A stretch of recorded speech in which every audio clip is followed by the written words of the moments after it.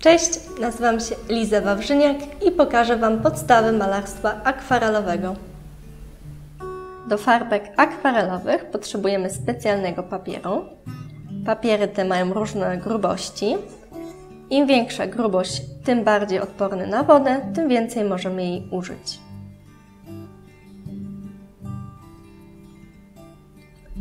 Farbki występują w różnych formach. Najpopularniejsze są w tubkach i w kostkach. Jako paletka może nam posłużyć zwykły talerzyk.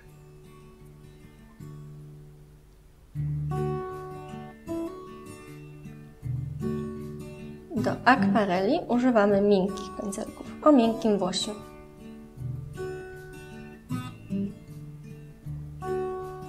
Jeśli chcemy wykonać szkic, przyda nam się twardy ołówek i gumka do mazania.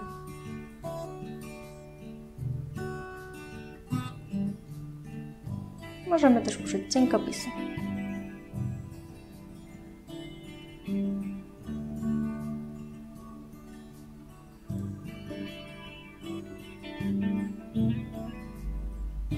Będziemy używać dwóch kubeczków z wodą. W jednym będziemy czyścić pędzelek, a w drugim nabierać czystą wodę.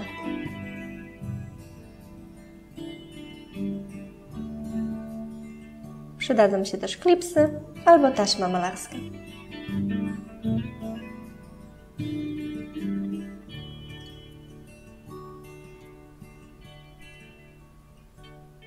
Przypinamy papier klipsami albo zabezpieczamy taśmą malarską, żeby podczas malowania nie zaczął nam się falować.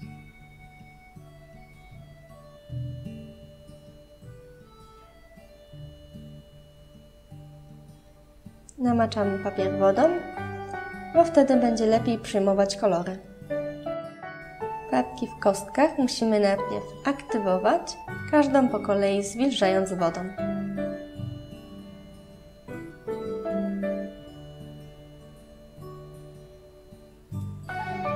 Możemy to zrobić pędzelkiem lub spryskiwaczem. Przy nowych farbkach zawsze warto zrobić sobie taki próbniczek.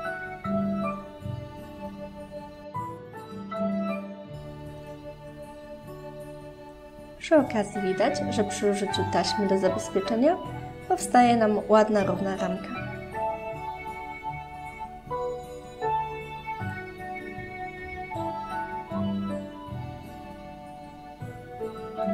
Dzięki próbnikowi wiemy, jak dany kolor wygląda po nałożeniu na papier.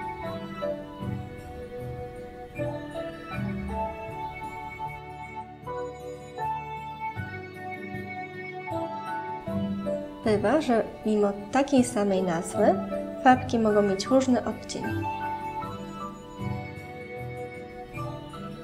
Farbki w tubkach używamy zazwyczaj do większych obrazków.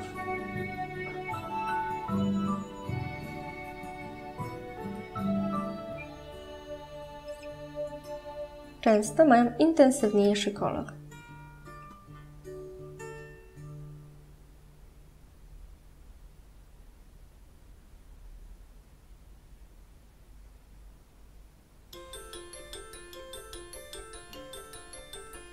Farbki w kostkach przekładamy na paletkę. Używamy ich częściej do mniejszych obrazków.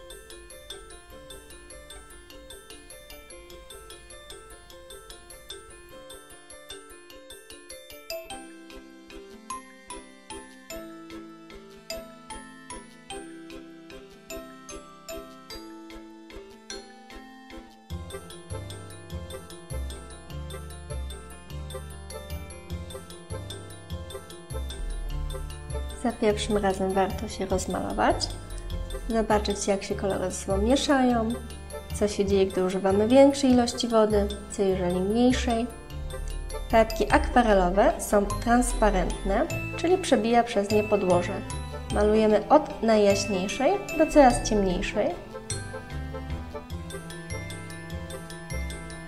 Jeśli nałożymy jasną farbkę na ciemną, to ciemna będzie przebijać.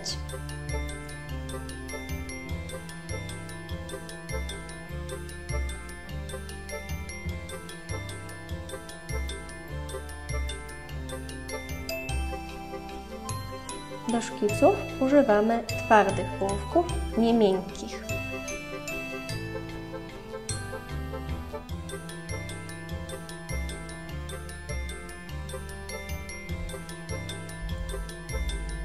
Ołówki miękkie będą nam zabrudzać pracę.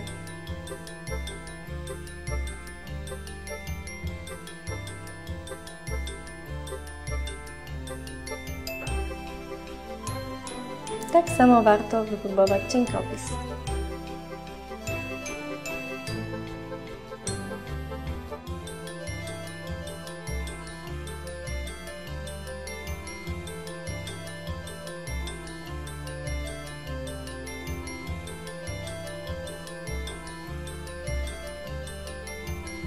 Dobrze zaplanować sobie obrazek i to jakich użyjemy kolorów. Nie mamy białej farbki. Nie używa się jej w malarstwie akwarelowym. Pole, które ma być białe, pozostawiamy puste.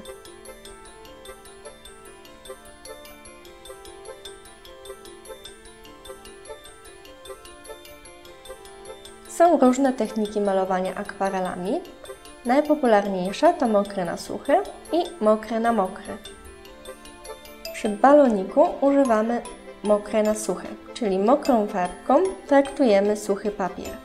Mamy wtedy większą precyzję i widzimy, jak nam się farbka rozlewa.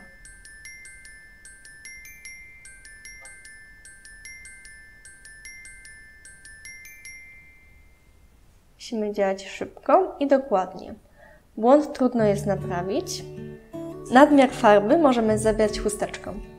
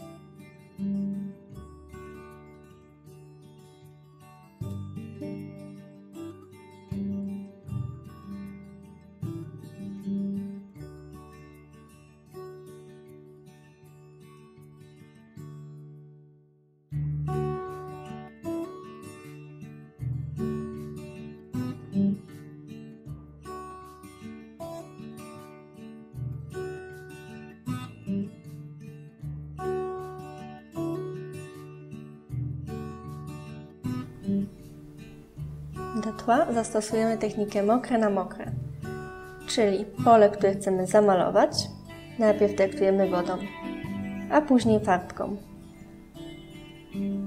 Przy tej technice mamy mniejszą kontrolę nad tym, jak farbka się rozlewa.